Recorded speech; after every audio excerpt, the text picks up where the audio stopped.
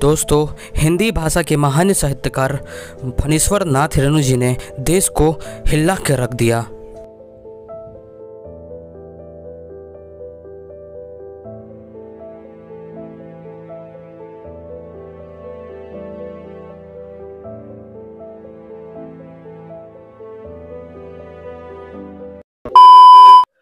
नमस्कार दोस्तों, स्वागत है आपका इस नए वीडियो में। तो अभी हम लोग पहुँच चुके हैं औराही हिंगना अररिया जिला के औराही हिंगना और ये वह गाँव है जहाँ के जहाँ के मिट्टी से एक महान साहित्यकार का जन्म हुआ था। तो आइए हम उस शख्सियत के बारे में बात कर रहे हैं जिनका नाम है नाम है फणीश्वर नाथ रेणु जी। तो चलिए उनके गाँव में हैं हम और ठीक हम इसी के, उन्हीं के द्वार पे हैं। आप देख सकते हैं ये जो पीछे घर दिख रहा है आपको, ये उन्हीं का घर है, उनके घर चलते हैं। तो आप देख सकते हैं अभी हम लोग जहाँ खड़े हैं, वो फणीश्वर नाथ रेणु जी के घर पे हैं। और आप मेरे ठीक पीछे देख रहे हैं, ये घर है उनका। और आप देख सकते हैं दरवाजे पे ये जो दिख रहा है, उनका बहुत बड़ा फ़ोटो भी है। और अभी हम चलेंगे उनके घर और देखते हैं परिवार में उनको कौन कौन है, उनसे बात करेंगे।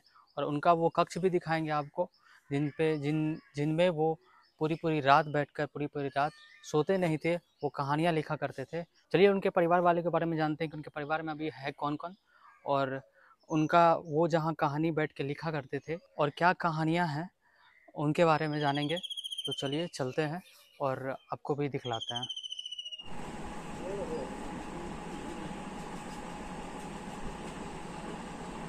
A few moments later. दोस्तों अभी हम लोग रेणु जी के घर पे हैं और ये आप देख सकते हैं ये जो पुराना घर दिख रहा है बस इसी घर में वो आ, इसी घर में वो अपनी कहानियों को लिखा करते थे। और हम जहाँ खड़े हैं आप देख सकते हैं ये आँगन है। और ये कितना पुराना घर है? लगभग इनके परिवार वालों ने बताया कि ये घर शायद, ये घर आज़ादी से पहले का है। जैसे कि आप देख रहे हैं, ये आँगन है। तो अभी हम आप लोगों को उसके अंदर का तस्वीर दिखाएँगे और जो कुछ भी दिखेगा आपको, वो सब दिखाएँगे। तो चलिए चलते हैं। तो गाइज़ अभी हम लोग अंदर जा रहे हैं और फिर देखते हैं एक बार कि उनका जो ये घर है, ये रूम है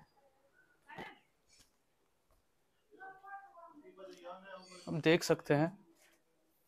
कौन चीज़ जला रहा है? ठीक है आ रहा अच्छा आ रहा है। आज हम्म। देख सकते हैं ये रूम है उनका।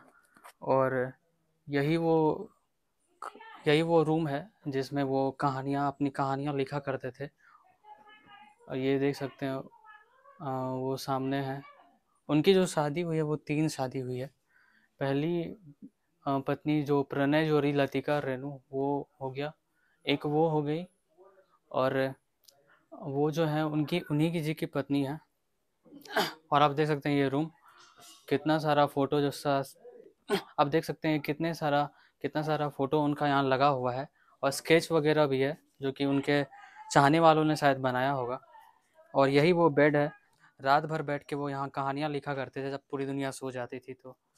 तो आप देख सकते हैं यही वो रूम है जिसमें वो, ये रूम आज भी मौजूद है। और तो फिर चलिए चलते हैं। हो गया इतना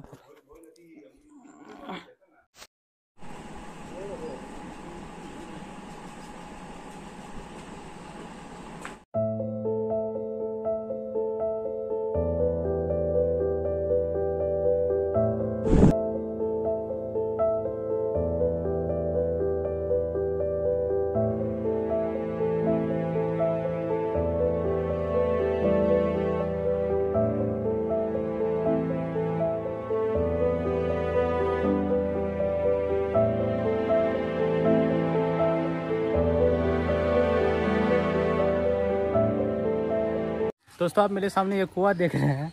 ये ये आज़ादी के समय का कुआँ है। आप देख सकते हैं मेरे सामने जो है, ये ठीक रेणु जी के घर के आगे है ये कुआँ। के समय का ही ये कुआँ है। देख सकते हैं आप लोग।